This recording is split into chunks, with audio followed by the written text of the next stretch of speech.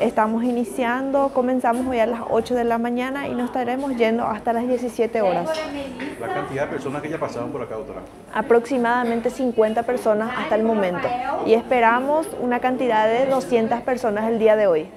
Para donar sangre hay unos requisitos, ¿verdad? Tenemos unos cuantos requisitos como por ejemplo lo principal es de la edad de 18 a 65 años de edad, un peso aproximado de 50 eh, kilogramos para adelante y eh, las personas que están embarazadas o amamentando también no pueden.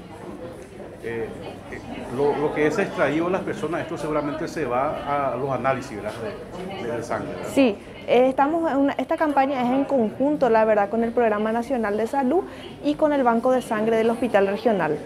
También nos están acompañando eh, el Hospital IPS el día de hoy. ¿El IPS también? Sí. Doctora, ¿las personas que están donando son alumnos de la universidad o también son pacientes que vienen acá? La verdad que son alumnos y nuestros colaboradores de nuestra universidad y también los pacientes que están llegando y lo que están viendo están, le están interesando y se están acercando para donar también. Como profesional médica, ¿qué puede decirnos de la importancia de donar sangre, doctora? Donar sangre es salvar una vida, ¿verdad? Entonces es muy importante porque nosotros vemos la necesidad de que cuántas personas, es algo que no se puede comprar con el dinero, entonces es muy importante. No importa de qué tipo de sangre sea, ¿verdad? Con no, que se pueda reponer. Exacto. ¿Existe alguna, este, alguna característica de sangre que es difícil de conseguir, doctora?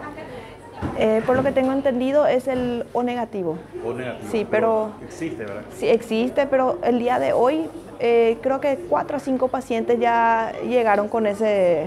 Entonces ya se consiguió algo ya. Alguito ya conseguimos. ¿Se, se sustrae 250 ml podría ser de cada paciente? Eh, sí.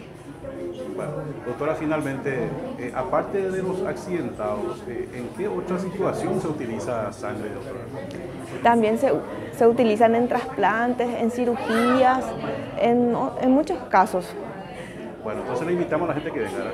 Acérquense nomás, es solo llenar, eh, llegar en la recepción, llenar el formulario eh, con la cédula de identidad y después ya se pasa por el, segundo paso que es la, planilla donde están los otros eh, encargados del área de la salud.